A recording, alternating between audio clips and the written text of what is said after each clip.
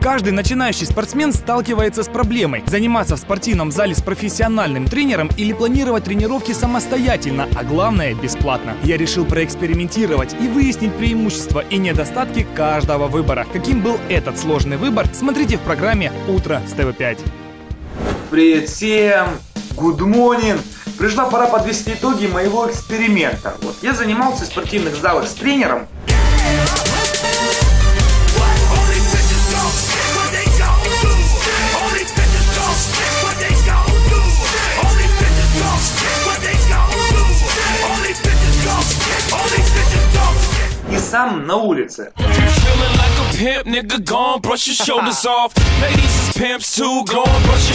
off. Niggas is crazy, baby, don't forget that boy told you get, get that, dirt off your shoulders. I probably owe it to y'all, probably be locked by the force. Trying to hustle some things, that go with the Porsche. Feeling no remorse, feeling like my hand was forced. Middle finger to the law, nigga, gripping my balls.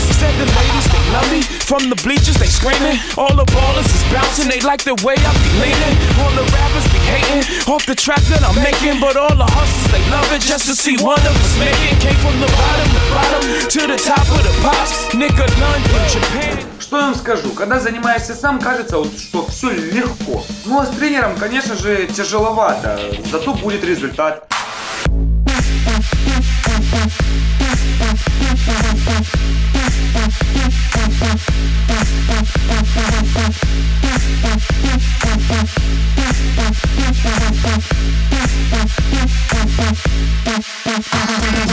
Хоть бы дожил до конца тренировки и не сломался.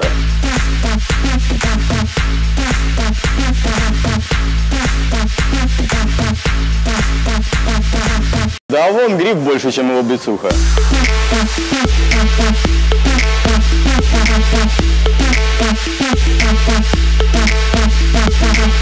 Поэтому, конечно же, лучше заниматься спортом в специально оборудованных залах и с тренером. Занимайтесь спортом и будьте здоровы.